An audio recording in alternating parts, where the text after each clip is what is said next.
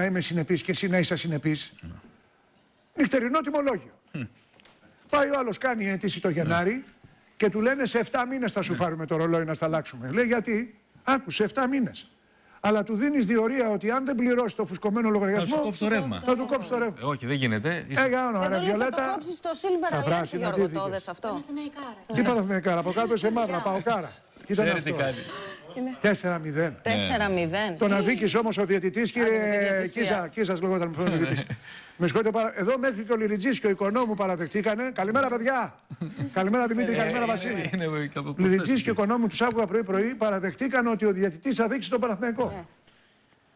4-0 Οι άλλοι όμως δεν παίκτες, είναι οι λίγο. παίκτες δε της ομάδας μπάσκετ ένα ακόμα με γκολ το ο πάνε. Παναθηναϊκός δεν έβαλε, ρε παιδί. Ξέρετε Κάνουνε- τι λένε; Τι λένε; Ότι όταν έχασε ο Ολυμπιακός, το Πούλμαν επέστρεφε να τους πάρει. Έχω να το διάβασα. Ναι, τώρα το τι, το τι ακούγονται.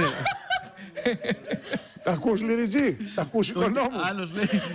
Θα γυρίσει το λέει με το πλοίο λέει τώρα. Λοιπόν, δεν πληρώθηκε χτες λέει το επίδομα.